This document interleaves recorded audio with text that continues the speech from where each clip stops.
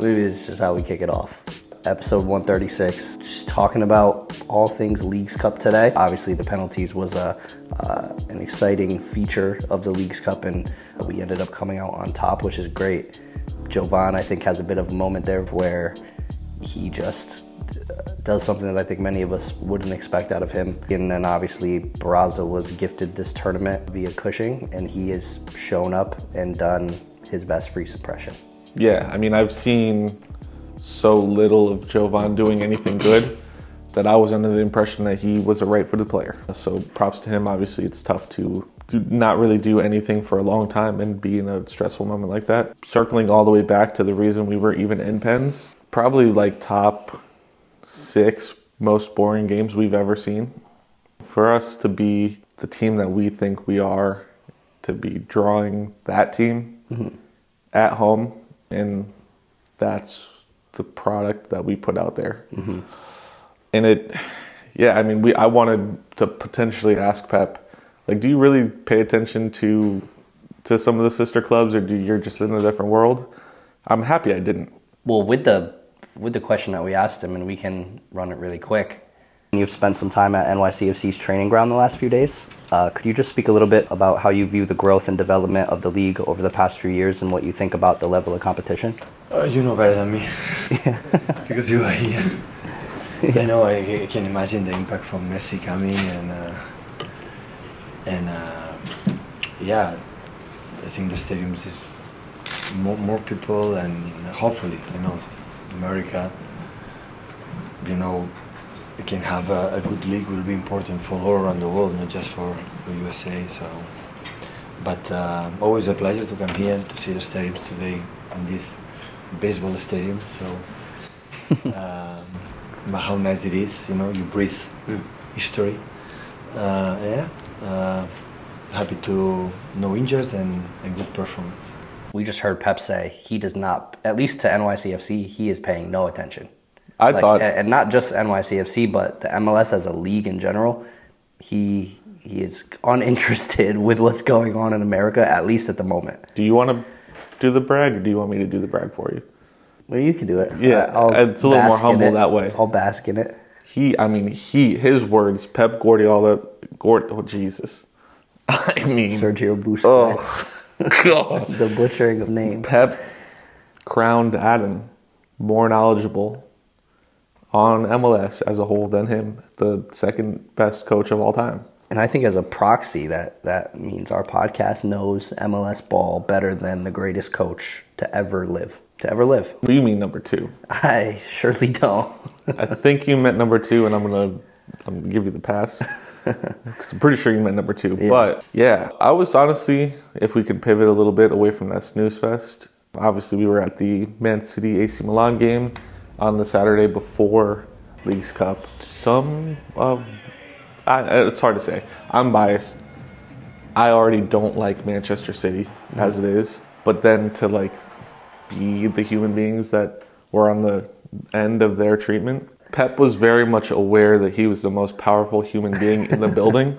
I mean, he is, and that. he was using. He definitely used that fact, and I think to say whatever the f- he wanted. You you did call it out on the night that he was probably a bit upset. Like it doesn't matter that it's the second preseason game in a in a obscure to him country against a, a, team that he hardly ever plays or ever will play and taking the L regardless of all of that like I think it still definitely bothers him mentally. Um, and you called it out he's probably going to be a little bit upset before he even gets in this presser room because of what happened on the field there are obviously chances for them to pull it back, and there were some good performances from some of the young kids. But yeah, once he got in there, he was clearly a little bit upset about the game, but then very upset as people started throwing the questions to him about schedule congestion. Yeah. And he was just like, well, I'm just going to go full heel on FIFA yeah. and tell them that they're killing my, literally killing my players. He literally said that. he said, they're going to die. if I don't and, care for them, they will die. But enter- it was entertaining. Then throw in the MLS. I didn't realize that I would have to ask the first question. I, I thought we had signed up for a list of questions. And you would be third. And I was third. And then like Pep came in the room and his his media correspondent Threw was like window. nobody. He didn't even find out that that list ever existed. He just came in. And he said, "Who wants to talk?" And I was like, He's like, go. And I'm Yeah. like, go. Yeah. Ask the question. So I just threw that, threw that at Pep immediately. Um, but I found it entertaining. I obviously love Pep. I think he's the greatest coach to ever live. Yeah. I It mean, was- he probably could have killed somebody on the podium, and you'd be like, that he deserved it. Yeah, I could. He could. And um, a once in a lifetime maybe experience. I'm sure we'll we'll cross paths again in the future. Yeah. But super cool opportunity just to to get to do that. I wish we could ask Haaland or Grealish a question. Yeah, I was going to say the two other highlights would be Grealish lying to us. Well, he had an opportunity to win your heart, potentially. It, it would have to, it, it remained to be seen, but Justin has a way of if a, if another man has a face to face conversation with him, that you could probably sell him on whatever Kool Aid you're pitching. Nah, like I'm, and Jack, Jack walked by, and another reporter tried to ask him a question. He said, "I'm going to come back, or I'll spin back around and answer questions." Yeah. And then two hours later, press time was over. Jack had never come back, and then the next day we find out he ghosted us for Rihanna, which fair. which is fair, but it's still it does hurt a bit. Yeah, I mean, I've always been a Jack Grealish the guy, guy, like the Jack like Grealish character. the man, the Yeah. character. Yeah. As a player, since joining Man City, not been a fan. I was a big Aston Villa Grealish fan, um, but then he aired United and went on to to be the stinker on the bench of a great team. That's where he's rotting away now, and now he's airing good fans. Airing the likes of us. airing good fans to be with Pulisic and Rihanna. Yeah. Which fair play. And then I may Haaland, do the same thing if I was him. aired by Grealish and Haaland in the same night. Um, Haaland obviously walked by and stated that he had done media the day before, so he will not be doing it again. So Mm-hmm. And nobody outside of Ederson really stopped. Right, and that's what I mean when I say they carry themselves a bit differently, and they have the uh, the allure or the whatever you want to, the ability to kind of pick and choose what it is they do and they don't want to do. Mm-hmm. Because Haaland, I mean, he walks into Yankee Stadium and he can get eighty thousand or not eighty thousand. I slipped up to 46. forty six thousand cheering for him, and then you go to the mall the next day and he's in cologne ads in Sephora. Yep. So he's that guy. It's, it's a missed opportunity to talk to him for sure. Yeah, I mean, going back to the game, which is the point of this podcast. Yeah, the yeah the New York City game. it's weird to say that I actually think as the competition gets higher in terms of the teams that we're playing, I think that we, as a team, we're going to play better. You've said it many times. I believe we actually play down to opponents a lot of times. Oh yeah, It's this weird New York City thing. I don't know if it's the Jets infecting us or what it is. We we tend to play down to opponents. I think that's what we saw. Ultimately, kind of got to chalk it up to uh, a lot of differences in the in the eleven as well. that's what I was going to bring up. Is how much do you think the lineup played a role? Because I think everybody's first assumption when we had saw the lineup come through, and we made a joke about it in a tweet that Nick was also boycotting the Leagues Cup rolling out. Definitely less than ideal lineup. Uh, but then after the fact, he he actually defended himself by saying that I guess Santi was sick, Hannes was having just some back stress that he was not interested in rolling him out with, um, and then Keaton had a hamstring that was bothering him. So that is three people that would have otherwise been on the field that would have gotten rid of having to play Julian, Yep. which some would say was tough. Having to play Haak, which is probably tougher than Keaton, at least from what we've seen from him lately. And uh, I'm shocked Damn. that in a game that was going like that game was, the Haak didn't end up with a yellow. That's like out of this world. I think in the first half, I'm not sure we played more than five consecutive minutes of football without a Fair. foul. Fair. Um, so hey, he kept it tidy. At least he kept it tidy. But yeah, I guess how much do you think the lineup affected that? Us playing down Uh, to them. A lot. Definitely a lot. I mean, you have a bunch of guys out there. I mean, Mounsef, was that his first start in Yeah. Sometime, at least a few games? It's it's tough. It's tough to go out there as a as a new unit, but at the same time, you train together all the time. Your position, you have to play well. Haak probably should have scored um, in that moment. That that ball goes to him across. He, I think he like stepped on the ball or something. Just an absolute me at pickup move, um, which I think literally happened Tuesday. But yeah, I mean, the the lineup. But at the same time, there was Barraza, who was first time playing in uh, a year. It's been a long time. A year, because it was around Leagues Cup time last year that he lost his job. Yeah. And so he comes in, obviously, has a huge game, had some saves, had some saves in the penalties, which I don't know, has a little bit less excitement attached to it because it doesn't get you three points. It only gets you one extra one. Mm-hmm. But getting out of there with two points, like the announcers were saying, is significantly better than than nothing. So, um, you know, it's kind of a situation where kind of just got to take what what we got. Yeah, we're in a much better shape than some teams. Teams like the Red Bulls, who have somehow, honestly, I honestly don't know how it's possible that they've been eliminated at this point. Like we've only played one game of football two days ago. Yeah, but if you get zero, it's like you're done. Yeah, and and well, I believe they got zero from both of their games. Yeah. and for whatever reason, they played four days apart. So, I think once again they've proved if you put them in a, a win or go home situation, they're going to be going home. They've been Bag should stay packed. they've been going home for 30 years. I'm not sure. I, I wouldn't have high hopes as a as a Red fan that uh, things are going to change anytime soon. Um, so New York obviously uh, is has always been and will remain blue. Yeah. Um, especially when we're looking at the Leagues Cup here, we do have Cincinnati coming up at Cincinnati, which we talked about before is going to be a tough game. You would hope we can leave with at least a point, but I think I think somebody one of the two teams is going to decide it within the 90. I don't see us going to Pens with Cincy. And I know they're on a little bit of a rough patch, three losses coming into this.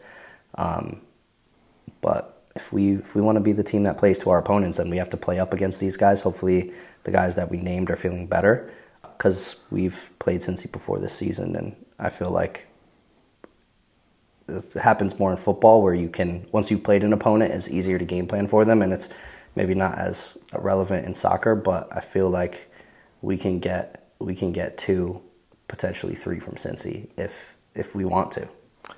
I think with it being MLS opposition, it's much easier to game plan for. It's much easier to get up and ready for.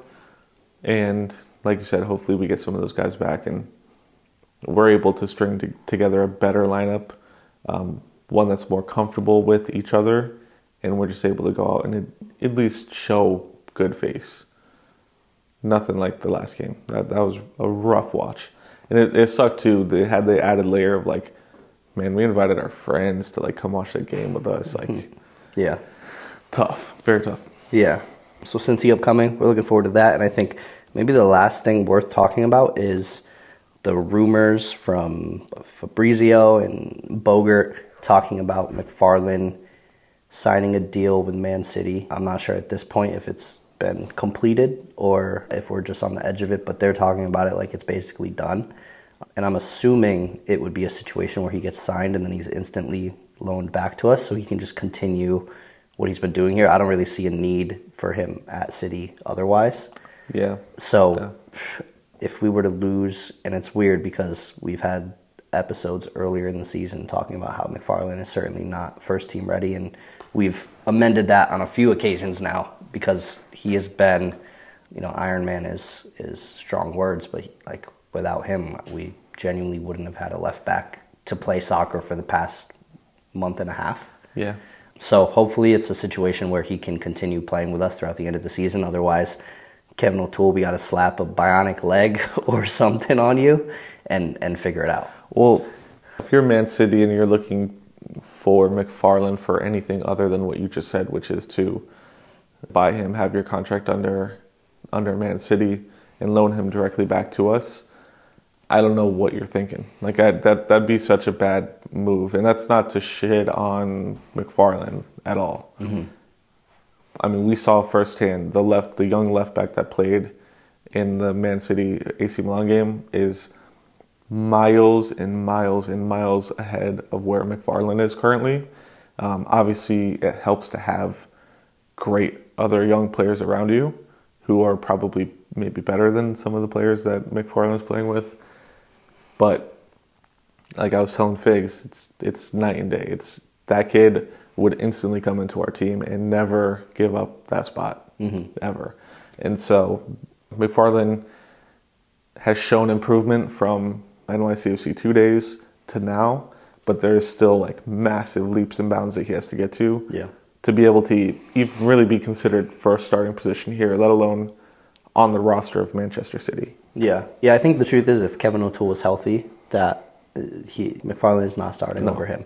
No. Um, just the progress that we've seen with Kevin at the beginning of the season and even into the middle parts of the season was was amazing. Like one of the only players that in the early moments actually started to show development under Cushing, um, and that was something that we kind of latched onto at the time. Like, hey, there might be something worth exploring here or keeping an eye on. So we'll see how it goes. If if he gets yanked from us, then I'm really not sure what we're gonna do.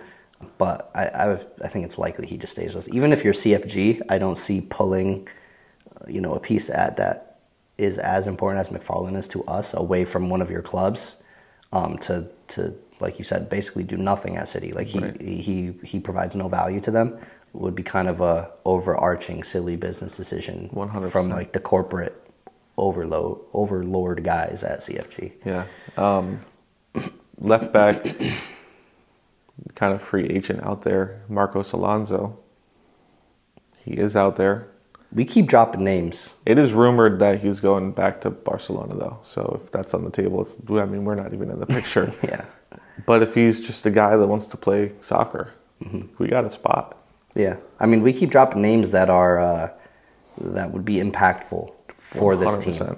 We talked about James last week or the week before, maybe uh, Marcos Alonso. I think a lot of fans are getting a bit antsy seeing the likes of the Girouds and Griezmann and now Reus going to LA Galaxy and what we've the the successful circus that's been Inter Miami over the last year. I think a lot of fans on teams that don't have that kind of big name European guy Yep. are getting antsy. Like they want they want somebody and I was praying Griezmann would make his way to New York with that Derrick Rose and Knicks connection, but Yeah. I guess we don't have the the pull that we wish we would. Or we just never, might not care. we never reached out. Yeah.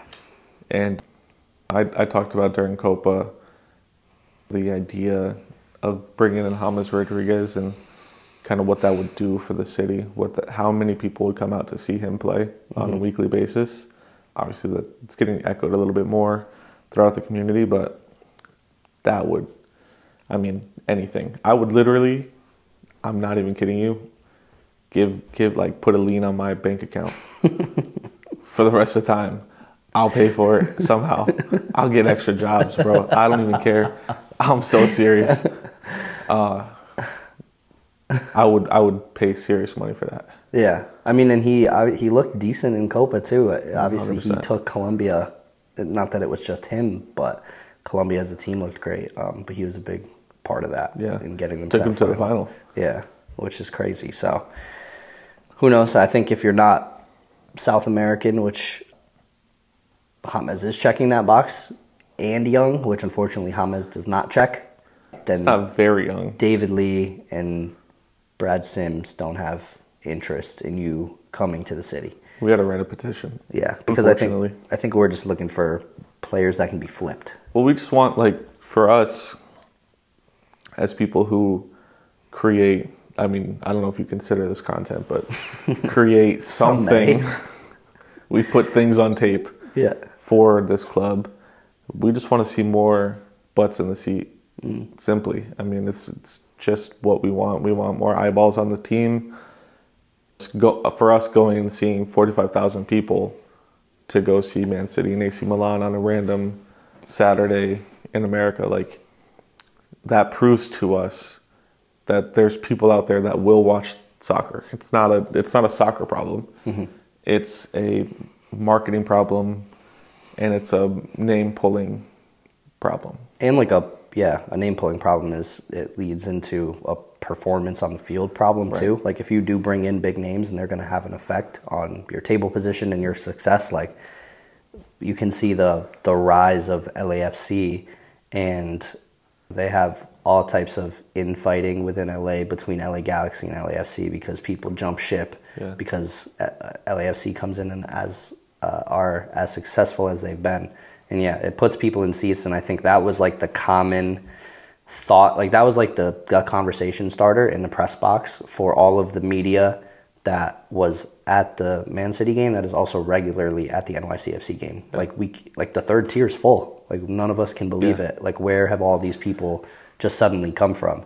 And that was yeah, that was the conversation. Even the press box was like there was probably two to three times as many people. People were saying they flew in from England for Yeah. the game, which is just wild. So I think you're right. Obviously, the big names draw endless amounts of, of heads into the stadium. Yeah, and I think it was kind of a fold on the marketing department and our, for the club. Like it was a fold on their end to not get our players somewhat involved in that and get our players in front of forty five thousand people. Get a, get the brand of NYCFC. yeah, they had Yankees players out there swapping jerseys and stuff. Like Yeah. I don't know how you don't have Santi, who is Yeah. probably the new face, or make it make it Maxi if you have to. He's he's a lovable character as well. Just to do so, or like a maybe a fan fest out something. or even get one part of the what would normally be the Third Rail's area, the sort supporter section. Get like a third of that with our fans there, with a tifo, like something. Do do something. Hand out flyers or have a free giveaway to the tomorrow's game. S- Anything. Oh yeah, in the stadium they should have Yeah. gave away like, I mean, so at, at the Leagues Cup we weren't there, but I think there were like sixteen thousand people, and that's tickets sold. That's not even butts and seats at Right. at the Leagues Cup. So we're probably looking closer ten to twelve thousand in the stadium. Like, Yeah. there's no reason that you can't give away like literally a thousand tickets. To, It wouldn't. It wouldn't make a dent. yeah, like, and and like you can pre-screen it if you want. Like, make sure they're they're New York fans or they're they reside in New York. It's easier for them to get to the game, and they're like a part of your target audience. And like make them sign up for like your email list or something. Yeah. And there's no reason. And then you pack the stadium out, and even if you convert hundred people, like that's better than zero. So.